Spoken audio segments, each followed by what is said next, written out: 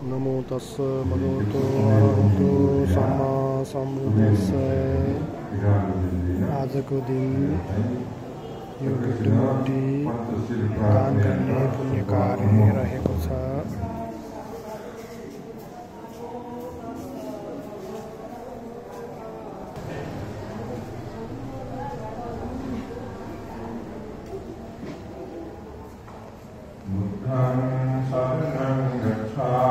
Amém.